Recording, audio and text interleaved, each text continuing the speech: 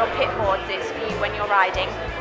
Ah, it's very important because during the race it's the only information you can get. You can understand how much is your gap from the guys in front of you or from the guys behind you and depend how you can uh, you can uh, accord with uh, your team to understand uh, to have the information that you need. So for me, I understand many many things.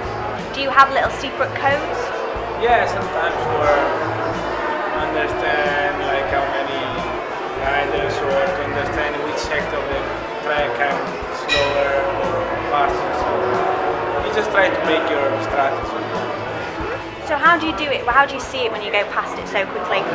Well, well you can pick it out from, from a bit of a way back, but usually over the course of the weekend you, you learn where it is.